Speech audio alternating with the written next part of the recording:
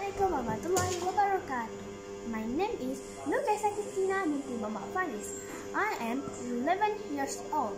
I am studying in 5 Khadijah at Sekolah Kebangsaan Dato Haji Alwi Karim. Today, I want to talk about my experience learning English. Well, English is my favorite subject. I got many knowledge about grammar, vocabulary in English subject. Fun subject. I learned how to read and write in English. In English season, sometimes we also singing, reading, and even acting. However, sometimes I feel that English is also difficult I can understand some grammar and vocabulary.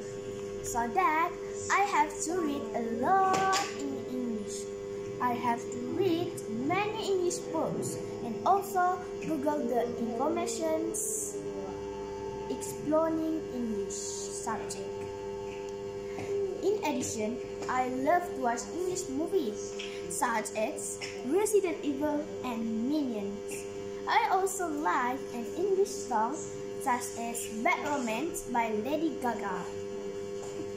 I used to speak in English with my family members and friends to strengthen my English skill.